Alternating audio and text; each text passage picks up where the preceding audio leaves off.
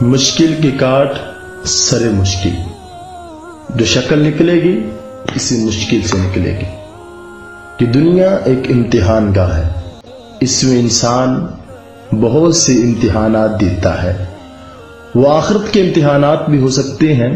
لیا بلوکم ایکم محسن و عملہ اور وہی امتحان جو ہم دنیا میں دیتے ہیں بروز قیامت، یہی ہمارے امتحانات کا رزلٹ الاؤنس ہونا ہے۔ اور اس کے علاوہ دنیا میں ہم اپنی تعلیم کے بے شمار امتحانات دیتے ہیں۔ وہ اسکول و کالج کے بھی ہو سکتے ہیں، مسجد و مدرسے کے بھی ہو سکتے ہیں۔ وہ چھوٹی کلاسز کے بھی ہو سکتے ہیں، بڑی کلاسز کے بھی ہو سکتے ہیں۔ وہ ہماری جاب کے لیے اپلائی کیے ہوئے ہمارے امتحانات بھی ہو سکتے ہیں۔ ان تمام امتحانات کا ایک بار طالب علم پر خوف ہوتا ہے۔ تو اس خوف کو دور کرنے کے لیے دین نے ہماری رہنمائی کی ہے۔ جب آپ امتحان کے لیے کمرہ امتحان میں جاتے ہیں۔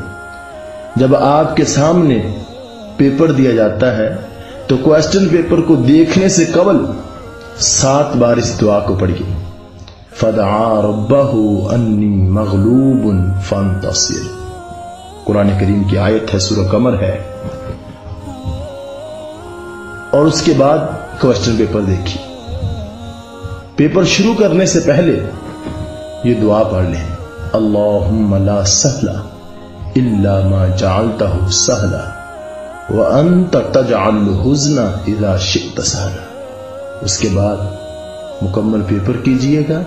پیپر جمع کروانے سے ایک بار پھر پہلے پھر پڑھیے گا۔ اللہم لا سہلا الا ما جعلته سہلا وانت تجعل الحزن اذا شئت سہلا اپنے پیپر کو دعاؤں کے حصار میں جمع کروائیے۔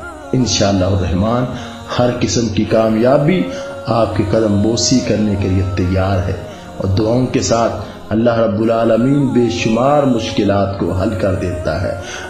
بذات خود میں نے ان وظائف کو بہت جگہ آزمایا ہے۔ اللہ کریم نے کامیابیوں سے نوازا ہے۔